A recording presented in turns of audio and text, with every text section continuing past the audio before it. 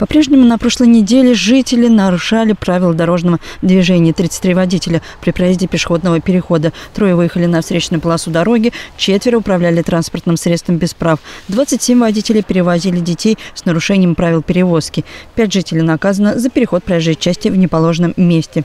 За прошлую неделю на территории Скресенского района произошло 29 дорожно-транспортных происшествий. А теперь к теме профилактики. Сотрудники госавтоинспекции совместно с активистами молодежного центра «Олимпиец» на пешеходном переходе по улице Советской беседовали с жителями и напоминали им, прежде всего детям, о правилах дорожного движения при пресечении проезжей части. Полицейские и волонтеры вручали жителям листовки и световозвращающие элементы.